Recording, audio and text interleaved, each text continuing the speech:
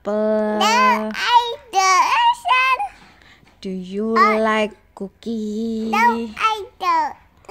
Do you like cookie apple? No, I don't. candy Do you like candy? Yes, I do. Do you like chocolate? Yes, I do. Do you like chocolate candy?